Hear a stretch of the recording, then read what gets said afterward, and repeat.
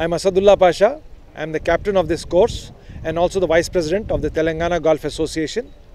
The Telangana Golf Association is conducting the interstate golf championship for the country to select the amateur champions of the uh, states and the country. Today the tournament was inaugurated by the chairman of the Telangana Tourism Corporation, Mr. Ramlu. And uh, there are 101 entries uh, from all over India who are taking part, young amateurs who have come all over representing their states.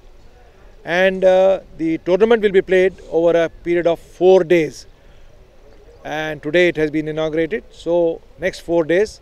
After two days, there will be a cut. The top 60 to 50 to 60 players will be playing the last uh, two days of the play, and the champions will be selected after that. This game also uh, gives them the opportunity of getting ranked in the country.